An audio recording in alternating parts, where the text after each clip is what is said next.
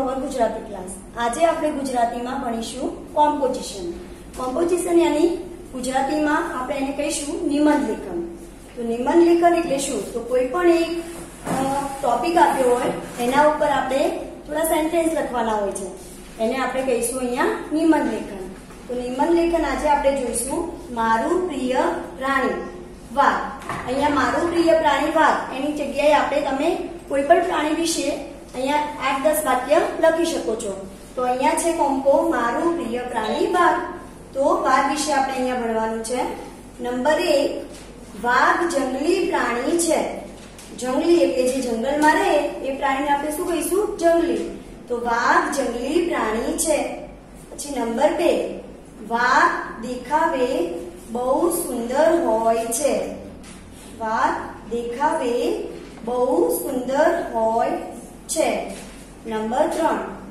વાઘના શરીર પર કાળા પટ્ટા હોય છે. તમે પિક્ચરની અંદર વાઘ એની ટાઈગર એનું પિક્ચર તો તમે જોયું જ હશે ને?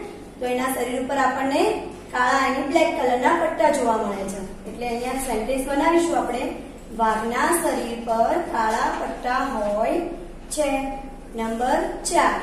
વાઘને લાંબી પૂંછડી હોય છે.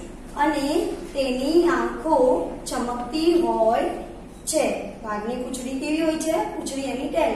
એની પૂંછડી લાંબી હોય છે અને આઈસ જે હોય છે એકદમ ચમકતી હોય છે. એટલે કે વાઘને લાંબી પૂંછડી હોય છે અને તેની આંખો ચમકતી હોય છે. એના પછી નેક્સ્ટ સેન્ટેન્સ નંબર પાંચ.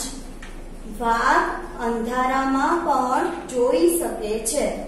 એટલે વાઘ જે છે ટાઈગર એ રાત્રે નાઇટની અંદર પણ જોઈ શકે છે. એટલે આપણે અહીંયા સેન્ટેન્સ બનાવી છે.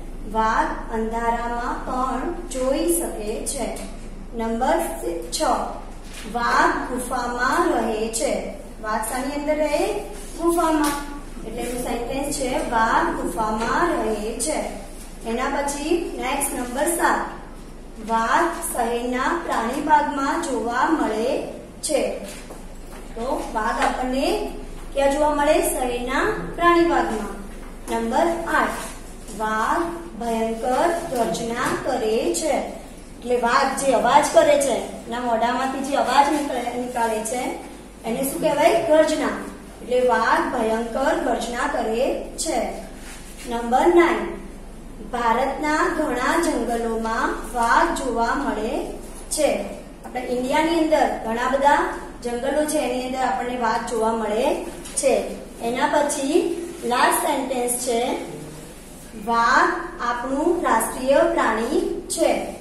વાઘ આપણું રાષ્ટ્રીય પ્રાણી, એની નેશનલ એનિમલ્સ તો વાઘ આપણું રાષ્ટ્રીય પ્રાણી છે. તો તમારે આ જે કોમ્પોઝિશન છે, એ તમારી નોટબુકની અંદર કોપી ડાઉન કરવાનું છે. Thank you students